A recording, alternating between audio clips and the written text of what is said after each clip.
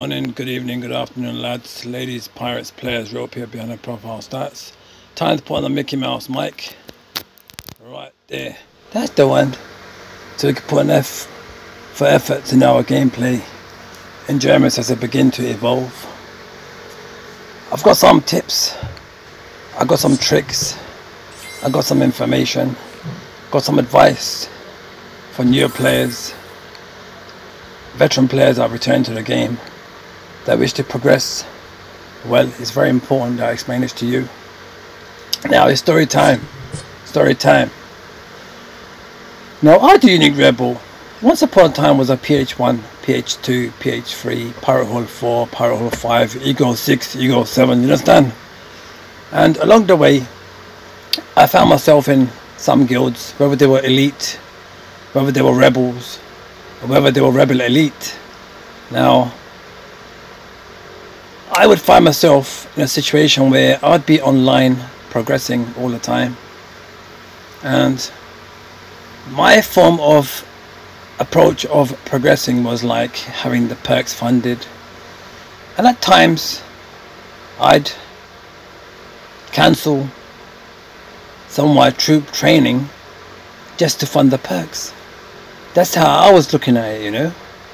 To fund the stonemason I'd cancel my troop training so I could use a grog, the loot to fund the perk. Now, uh, saying that, that was out of because of my dedication and loyalty to the guild that I was with. But then, that idea of my approach began began to evolve, and it became a, such a evolving idea of dedication and loyalty that now I can advise the players, the people, the real people behind the profile stats, what they can do. And what you can do is only train your main troops that you use in your tavern, that you use in your battles, mainly have them training back to back all the time. Now this game is all about timing and calculations.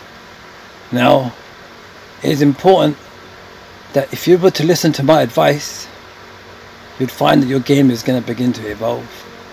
And that's why I'd say when you are upgrading and training your troops from the academy, say like you use gunners, you use Sky Raiders, bombers, juggernauts, and heavy gunners, yeah? And aeronauts. So if you don't use bucks and thieves, it's an idea. If your loot storages are overfilling then start the trainings up. But then when you need to start a gunner up it's good to just cancel one of these and then open up some chests at the same time as you're going to win a rumble or something. You could use all that loot towards the next training level. Do you understand what I'm talking about? Now that's a strategy. Now the second part of the strategy I'd like to explain is that when you use three, one, two, three, if you've got three builders busy and you're using the fourth one for the walls, if you've got plenty of loot and you don't want no one else to get it, now when they attack you, when another person attacks you, you actually lose. Someone said once in the past that you lose 20% of whatever is in the grog distilleries and gold mines but you lose 25% from your storages. But the thing is, there's sometimes you get people just coming in just to loot for the storages and they leave all your traps unarmed and two, three people come and they keep start taking more loot. So one of the ways that I found to keep my loot safe is if I got too much gold or if I got too much grog, the grog is what you need to upgrade your gold mines with. The gold is what you need to use to upgrade your grog distilleries with. So what I do is, if I've got too much, say, gold, then I'd actually use my fourth builder to start an upgrade. So when I come back the next day, I just cancel it and I could use that for my battles or whatever I need for recruiting. So I actually sometimes hide my loot. Sometimes I hide my grog. Sometimes I hide, hide my gold into a, an upgrade a useless upgrade, that's the one. Yeah, so there's so many small things that you can do, but because I've never, this is exclusive to this channel because I've never explained it in that manner before, you see. So it's important whenever the idea pops up in my mind, in my heart, I use that time to just get onto the game, to explain to all those that be worthy, this is how it's done, this is how the unique rebel does it, or this is how I did it. So from here on, is the game is within your own hands. The game is all yours. You do what you like with it. You take the path that you wish to take. My job is to explain to you what I used to do. I'm not saying that you should cancel your troop trainings to fund the perks. That's not what I'm saying. I'm just saying you can use certain specific ways of easing the game for yourself. It's like what uh, that person from a Tokyo Drift, the one that eats the peanuts, that mushroom, he was saying it's better to have 50% of something than 0% of nothing. You understand what I'm saying? So it's like one of them ones. You got to decide what you want for your gameplay. And you got to decide, you got to take your own path. It's good to go through the good, the bad, and the more most important, the ugly of the gameplay. It's important to go through the experience of joining guilds that later you realize don't value you, you know, your loyalty and your dedication. It's good to feel. I told you this game is full of heartache. This game is full of ups and downs. You feel upset at times. Sometimes, just the way it is. It's just like maybe like life, but it's just you find a decent balance that you feel happy with and content with. And when you find that you support others, see when you're a brick that's supporting other bricks, then ultimately those bricks will also begin to support you and then you'll feel it, you see. So the same way, when you're part of a guild, you're part of progress, you're part of people that are worthy of your efforts, your effort, efforts and your time that you've been given, the availability time that you've been given to the game, you begin to realize that it's not so bad. This game is most also most amazing. If played correctly, this game will take you to heights where you yourself will become the architect of your own gameplay and of any future enjoyments that comes with it. It's all down to you. It's all down to how you want it to be and allow yourself to take it to the level that you feel most comfortable with. That's the one.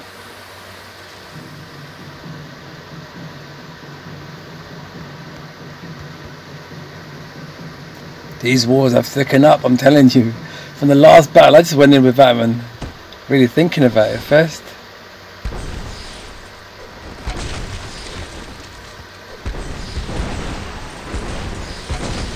Let's have a go anyway, you know what I'm saying? One on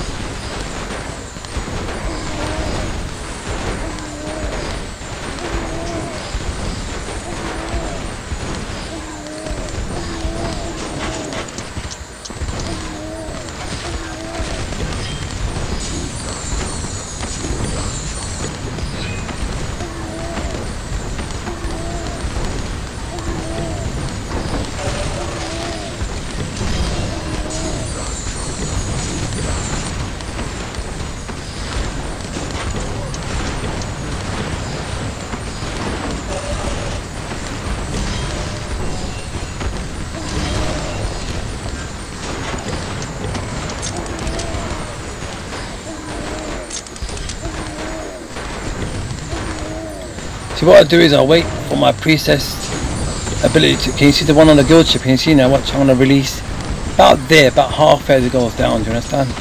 So I wait for it, I know, I know from experience how long it takes for the priestess to creep in through the walls because of the distance. I've kind of like calculated you see, so I have an idea, so can you see the guild ship priestess icon ability, watch. I'll wait that little bit longer, you understand? There, you understand? That's where you get the maximum, you understand what I'm saying? The maximum impact. I mean, it's all about getting the one star. It's all good. Two stars a bonus. Three stars a blessing. There's no laws. There's no proper ways of playing this game except for you becoming the architect of your own gameplay. That's the one. You decide how, who, when, why. You understand what I'm saying? Yeah, that's what it's all about. It's a fighting game. You enjoy it. It's a beating up game.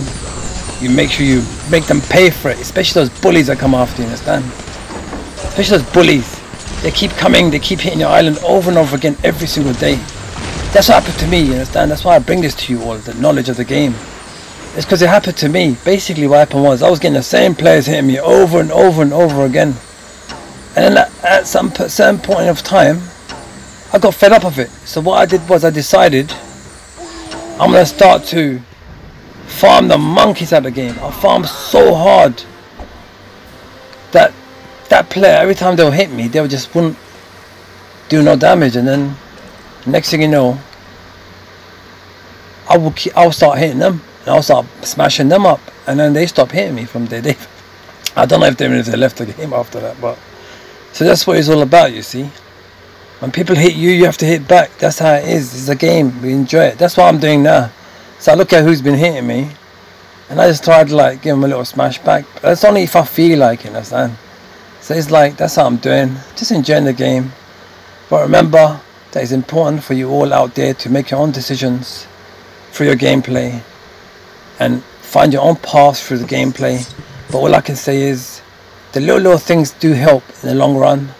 Sometimes what I would do is I'd hold I'd hold loot in the the Buccaneers training. I'd hold loot in the Thieves training. And then say like that's like six million each or seven million each. But when you take half of each of them out, you've got about seven mil there. And then I'd hold some maybe loot in one of the upgrades of say like one of my uh, gold mines. And then when you add them all up with the rumble rewards, you'll find that you've got enough loot to just start up one of the trainings for your legendary pirates. You understand what I'm saying? And that's like 10, 12, 12 mil you need, 12 and a half mil. So these small ideas that I'm trying to put in your heart and your minds, those that listen to this channel, those that follow what the Unique Rebel says, or even the ones that don't understand what I say but re realize and understand the message behind my advice. That's all I can do is show you and all those that be whatever you could ever do. These are small basic hints and tips for new players. It's all about your approach in this game. This game will bend and fold the way you want it to. It will this game you can you can you can master being the architect of your own gameplay. You can allow this game to be whatever you want. Enjoy it. When you start your upgrades, start with your when you start your upgrades, start knowing that your silo, forts, and legendary the guild ship. Your silo, the legendary pirates fort, and your guild ship are the main three high priority upgrades. Your legendary pirates fort, your guild ship, and your silo. These three are priority upgrades. If you can and when you can upgrade them. When you pirate hall up, you always start with your academy, your guild hall, and your voodoo hut. These are the three key areas that you need to upgrade to start with. Once you've done your guild hall, you start with the perks. Yeah? Your pirate catcher, your training ground, your observatory, your stonemason, your blacksmith. And then you do everything within the walls, starting from your ground pounders, to your bunkers, to gun towers, to your mortars, to your ARRRs, to understand to your storages. But with me, the unique rebel, I start with my mystic mine. I start with my flame gate. I start with my voodoo gate. I start with my shark traps. I start with traps first because they take just a day and a half, two days, two days and a half. While all these other ones take six days and four days and five days and nine days and the monkeys, if you want to wait all that long. I start all these other little ones first. So about eight, nine of them are done before I start on the other ones because I don't want to get attacked by other people the same pirate hole as me anyway. So when they come for me, they're gonna get roasted by the higher level mind. You understand what I'm saying? To balance it all out. That's what I do. That's how I play. I play different than others. I play totally different ball game. I don't know what game they're playing. They're playing hide and seek or something, or kiss chase or something. You understand? Yeah, I'm playing carom board. I'm calculating it. I'm making sure. You understand what I'm talking about? I'm aiming. I'm directing. I'm looking. I look at the angles. I make sure, yes, you know, if it feels comfortable or not. But you have to learn to take your losses. You must learn to take your losses. Don't get upset about losing. It's part of it. Just smile at it and just try to forget about it and just move on. Understand? It's like in life. That's why I say, you know, gameplay in real life. You got to just try to learn to take your losses. And some losses are very hard to take, you know. That's why I say always keep a full guild ship. That's the one. Always keep a full guild ship. Wait if you have if you have to a few minutes because if you go into a battle and you just lose by a few seconds or if you don't get the three stars because you just needed a few more troops you should have waited and the regret. And even when you log out of the gameplay log back in just to double make sure that the game is synchronized because sometimes you'll find that the game doesn't always synchronize with your training that you just started. You're going to lose all that loot you understand? So sometimes it doesn't synchronize especially with the iPads. That's where the issue sometimes you swipe out. Lady Morgan Flint once explained how not to swipe out. It was a really good manner of explaining it but I kind of didn't keep my mind eyes open at that time because it didn't really affect me. But there's a way to like lock your screen so that you don't swipe out. So but what does help is if you have other apps off you swipe all the other apps out and you have just one app on it kind of helps a lot of times. So that's one little thing I can give to you. But sometimes some of us got sweaty hands you know we've got different chemistries. But I like to take on everything I like to take on all the different possibilities and algorithm dynamics that are all the mixtures of different people from different parts of the world with different time zones. You know, because I'm someone, I'm a product of a game, so I'm someone that was removed from a from a guild because because I had scored 60k at another guild somewhere, and I had just joined someone, so it was like, and it was late night when I joined the guild, and because I slept, when I woke up, they were already in Rumble, and they decided to remove me because I had a previous 60k, and why am I not scoring, and and they just because they didn't see me scoring because they because they didn't know I'm sleeping. It's a different time zone here. And they, that was the reason to remove. And from there I just started to smash them up one after the other. Just I'm saying? You guys have no idea what the Unique Rebel has been doing and for what reason. I play for the right reasons. To smash some to balance things out to pe put people in their place to reward some people with a bit of a PR boost people that I know you know like find the worthies and the not so worthies and I kind of just deal with it and I just enjoy it and I love it and that's what makes the game what it is today I mean, that's my story time. But you will do what you like for the Unique Rebel Academy. It's a game, have fun. Enjoy. Make the most of it. Sometimes we're living our good times in the moment, but we just don't know it.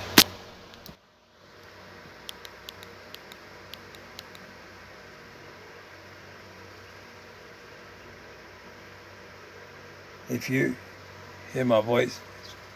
Echo, echo, echo. Be assured, I always be there for you and all those that be worthy. Whatever they've partahed. Anyway, allow me to go as I wish you all well, wherever you may be. Keep smiling, keep shining keep rising with the gameplay enjoyments as you continue to evolve, but more most importantly, the cards that you've been dealt with in the real lives. And that's the one, number one, my pirate subscribers across the world, across the borders, the grid lines, squid lines. Ta-da! There's so much small, small hints and tips. If new players and veterans that are returning to the game if they were to take on small, small good habits earlier in the gameplay, they would get so much more furthest.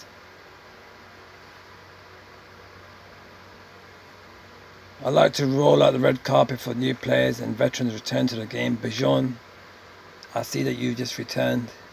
You had this game you were playing a long time ago and you returned to the Planet Pirate Discord. You found your way. You clawed and scratched to find back where the whether you could get in contact with who was left playing the game still. And you found some veterans still playing. Yeah, Bajon, well done. You made it back. You swam back to the safety, back home to where you belong. Yeah, this game is most awesome, most amazing. There are many other small games out there that also are amazing and also enjoyable to play. I will in future, or the near future, download, upload those games, videos, just put uh, out, look, this is what the game's all about. Things are happening around the world. Some things take time, good things take time. And it's just good to be part of the community. Some say that this game is underrated, and I totally agree. There is so much more. That this game is so awesome and so amazing.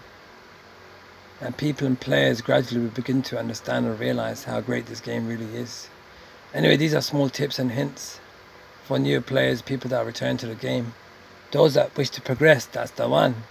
Small hints and tips for players, people that are wishing to progress. That's the one. That's the one. Get a bit of podcast.